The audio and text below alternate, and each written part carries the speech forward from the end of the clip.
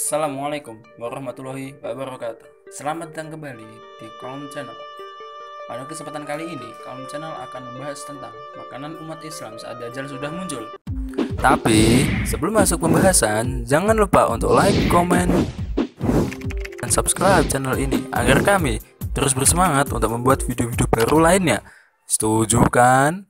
Dajjal merupakan sosok eskatologi Islam yang dilaknat Allah SWT dan keberadaannya masih menjadi misteri. Pada saatnya manusia bermata satu ini akan keluar dari tempat persembunyian dan menyebarkan fitnah di tengah-tengah manusia. Sosok yang disebut-sebut akan menjadi tandanya datang kiamat besar ini memiliki kemampuan menghidupkan orang mati, menyembuhkan orang sakit, membawa sungai, surga, neraka, memunculkan kesuburan, serta menurunkan hujan. Namun, meskipun Dajjal bisa menumbuhkan tanaman dan menurunkan hujan, bukan berarti makanan kita berlimpah ruah dan bebas makan apa saja. Khususnya kaum muslim, mereka akan mengkonsumsi makanan yang berbeda dengan yang ada saat ini. Seperti apa?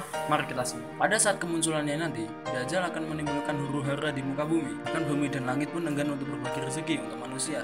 Selama tiga tahun berturut-turut, Rusia akan mengalami peceklik panjang menandai kemunculan Dajjal. Hal ini dijelaskan dalam hadis yang dijelaskan oleh Syekh Al-Albani sebagai berikut. Sesungguhnya, tiga tahun sebelum kemunculan Dajjal, di tahun pertama, langit menahan sepertiga air hujannya, bumi menahan sepertiga hasil tumbuhannya, dan di tahun kedua, langit menahan dua per tiga air hujannya, dan bumi juga menahan dua per tiga hasil tanamannya. Dan di tahun ketiga, langit menahan seluruh yang ada padanya, dan begitu pula bumi, sehingga binasalah yang setiap yang memiliki gigi pemamah dan kuku.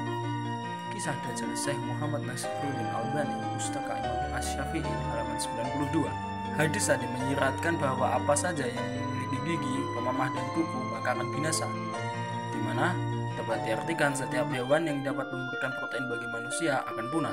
Contohnya seperti kambing, domba, sapi, kerbau, dan unta. Atas jika sumber protein punah yang kita lakukan ada sebuah buku dari Syekh Muhammad Nasruddin Al-Albani rahmatullah rahimah rahimahullah menulis sebagai berikut. Dalam hadis riwayat Ahmad, Asma berkata, "Akan tetapi mereka tidak mendapatkan apa-apa sehingga aku khawatir terkena musibah kelaparan dan apa yang bisa dimakan oleh kaum mukmin pada waktu itu." Jawab Nabi, "Allah mencukupkan kepada mereka dengan makanan yang diberikan kepada penduduk langit atau malaikat."